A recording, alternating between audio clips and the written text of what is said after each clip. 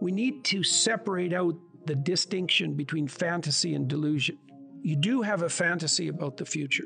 So you have to provisionally map the future. That's what a plan is. That doesn't make it a delusion. Like it becomes a delusion when the map bears no relationship to the underlying territory.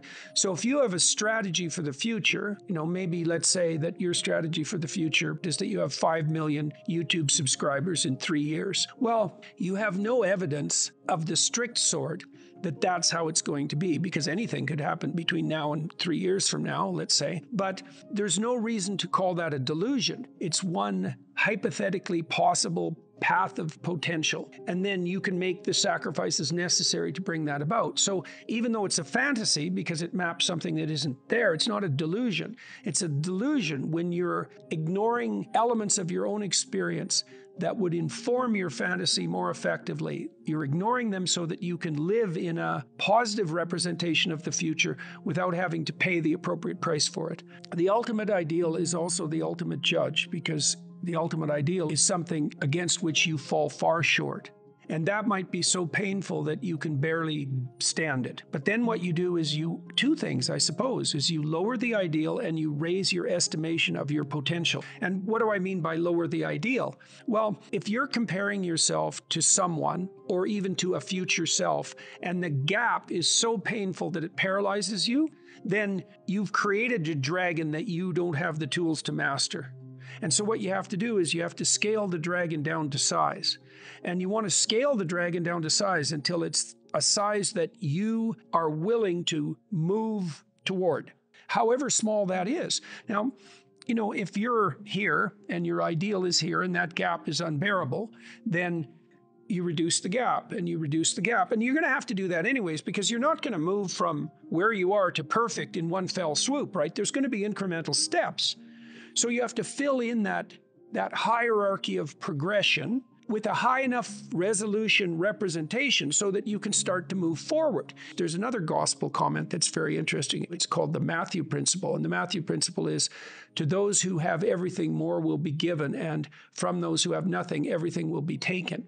Now, it's brutal because it implies that reality works like this. When you're moving up, you go like this, right? And that's pretty nice. That's a lot better than this. But when you're going down, you go like that, right? It's like downhill, downhill, cliff. Okay, so you want to avoid the downhill path. Well, if the uphill path is like this, which is like exponential, let's say, or geometric, then what that means is that it doesn't matter how big the first steps you take uphill are, even if they're trivial, even if they're shameful in their size, because you're so useless. If you're disciplined in that, you'll speed up extraordinarily rapidly. And so that's the good news, you might say, is that you can take very small steps, even ones that might be shameful in their size, and you have to admit that to yourself. But once you get the ball rolling, it doesn't roll in a linear fashion, it rolls in a geometric fashion. And this is a really good thing to know because it can take the sting out of the realization of your own stupidity. It's like, yeah, you know, everybody has their weak sides, let's say, things they're embarrassed about. When I first started going to the gym, I was like 23, and I think I weighed 135 pounds, and I was six foot one, very, very thin, 27 inch waist, something like that. And I smoked like mad, and I drank too much. Like I wasn't in good shape. the first attempts forward I took in the gym, I went to this swim exercise class. Jesus, it was me and this like really fat guy, young guy, probably not in any worse shape than me, and like seven old women over 70, and they could outswim me. Like it was pretty damn humiliating. And so I did a semester of that and got myself in somewhat better shape. And then I started to go to the gym to work out, to lift weights. And that was also rough because, you know, I'd be underneath the bloody bench press trying to lift 75 pounds off the rests. And, you know, some muscle headed bastard would come over and tell me how to do it. And it's like, yeah, thank you. But you know, it's embarrassing. And lots of times people won't do things like go to the gym because they're so embarrassed about how they look or what sort of shape they're in. And it's a pain to start at the bottom, but you start at the bottom where you're weak. And if you want to rectify what's weak, you have to accept the fact that you're at the bottom and that the first steps are going to be painful. You know, it took me about three years, but I stopped smoking and then I stopped drinking and I gained 40 pounds of muscle in like three and a half years, something like that. I basically had to stop doing that because I had to eat like six times a day. It was crazy. But I got a lot more physically confident and a lot more coordinated. But the point of all this is if you're going to rectify your weaknesses, you have to admit your insufficiency to your own shame. Now, if the gap between you and your ideal is so great that it paralyzes you, you shrink that. Things will beckon to you and call to you, and you'll have intuitions about which pathway to take. And you will, in all likelihood, follow those because what else do you have? You have these orienting instincts. This is another reason why you don't lie. Because if you lie and you practice lying, you pathologize your instincts. And then your intuitions lead you wrong. And so there's a sin that's laid out in the Gospels. It's the sin against the Holy Ghost, and it's unforgivable. And people have been debating for like 2,000 years about what this particular sin is, but it's something like the pathologization of the instincts that orient you. Like if you sacrifice your relationship to the truth, you warp your vision, and then you can't see.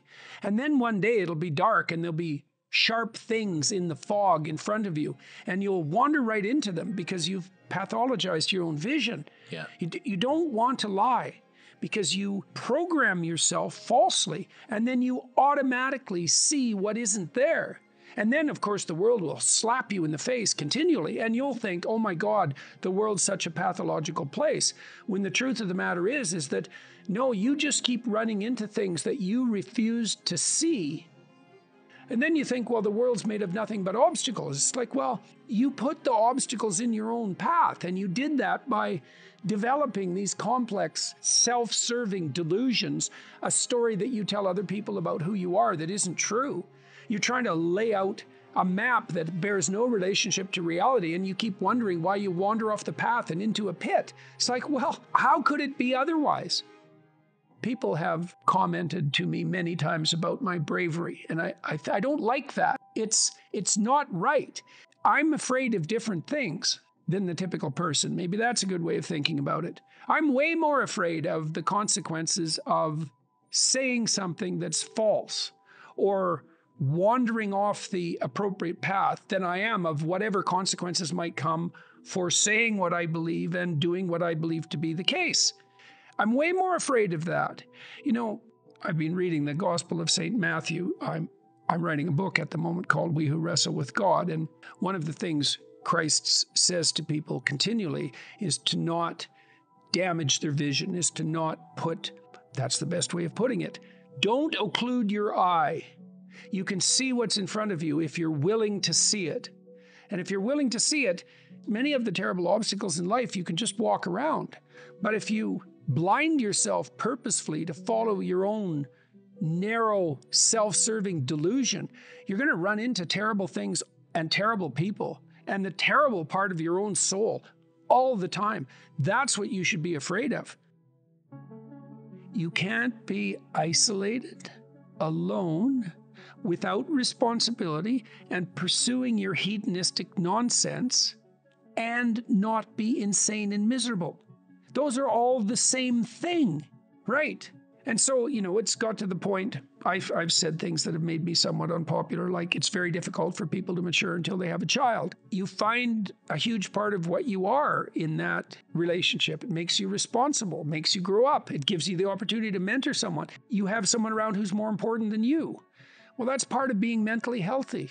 It's a huge part of it. This enterprise that I've helped put together, Alliance for Responsible Citizenship, we're trying to put forward a model of governance. It's called a subsidiary model. And the idea is that people have multiple social roles that scale. Know, there's you, you should take care of yourself, integrate yourself, which means you can conduct yourself properly across the medium to long run. You're self sustaining.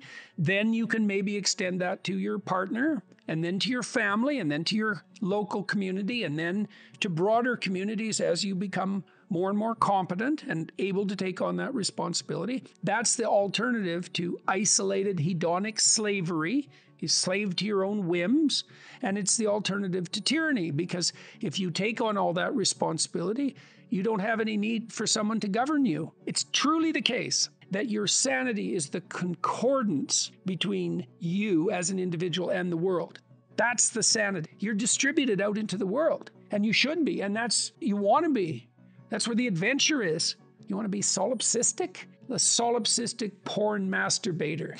Jesus, it's not going to be aimless and miserable. Well, God, it's so pathetic. Why am I so unhappy? It's because you think about yourself. Oh, no, you think about the lowest impulses in yourself all the time. That's why you're miserable.